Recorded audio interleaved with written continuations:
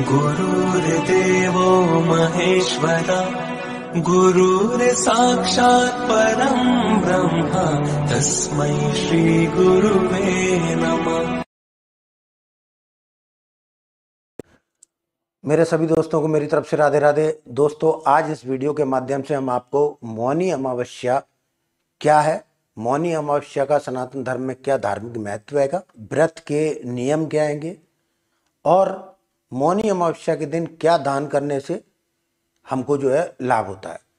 इसके साथ साथ मौनी अमावस्या एकमात्र ऐसा दिन है, अगर इस दिन हम अपने जो हमारे पितृ होते हैं, हमारे पितरों को भी हम कहते ना कि खुश कर सकते हैं उसके लिए क्या सरल उपाएँगे वो इस वीडियो के माध्यम से हम आपको आज जानकारी देंगे। और एक और विशेष उपाय बताएँगे, अगर किसी व्यक्ति पे पैसे की दिक्कत है, कर्जा है या पैसा नहीं आता है।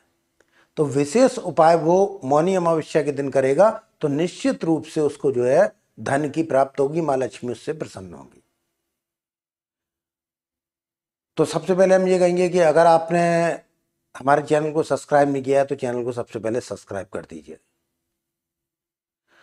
हम इस वीडियो को स्टार्ट करते हैं मनु ऋषि मनु ऋषि के नाम पर ही मौनी शब्द की उत्पत्ति हुई है। मौनी का अर्थ होता है मौन रहना। मौन यानी शांत रहना। हमारा चित्त शांत होता है तो ईश्वर जो है, हम जब आराधना करते हैं तो ईश्वर की प्राप्ति होती है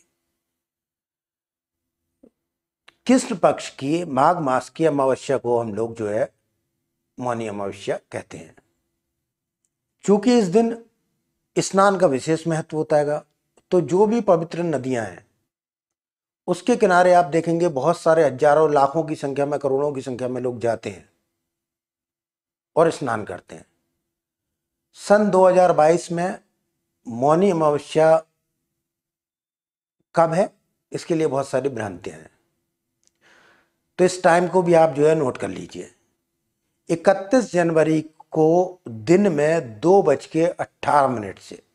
कई जगह आप देखेंगे तो रात में दो बज के अट्ठारह मिनट कहा गया लेकिन दिन में दो बज के अट्ठारह मिनट से एक फरवरी को ग्यारह बज के सोलह मिनट तक मौनी अमावस्या का टाइम है समय। अब चूँकि यहाँ स्नान का महत्व होता है तो हम लोग मौनी अमावस्या एक फरवरी को स्नान करेंगे। स्नान करने के बाद एक संकल्प करेंगे। व्रत कर सकते हैं, व्रत में मीठा गा सकते हैं संकल्प में हम क्या दान करेंगे, वो हम स्वयं संकल्प कर लें। इसके अलावा मौन धारण करेंगे। और ऐसा माना जाता है कि अगर आप कुछ दान कर रहेंगे और दान करने के अगर सवा घंटे पहले भी आप मौन व्रत धारण कर लें तो आपको 16 गुना फल प्राप्त होता है भगवान विष्णु, भगवान शिव का ध्यान करेंगे, विष्णु चालीसा का पाठ करेंगे, या विष्णु सहस्त्र नाम का भी पाठ कर सकते हैं। वो और अच्छा होगा। इसके अलावा जो है हम अनाज, तिल, गुड़, कंबल, पलंग, गौशाला में गायों के लिए भोजन इत्यादि हम जो है दान करेंगे।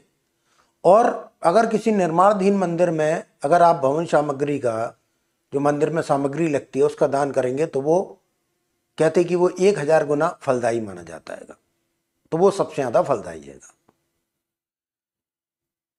इसके अलावा, चूँकि अमावस्या हमारे पूर्वजों के लिए बहुत शुभ माना जाता है, अगर हमारे पितृ दोष है, हमारे पितृ हमसे रुष्ट हैं तो हम पितरों को खुश करने के लिए इस दिन क्या उपाय करेंगे?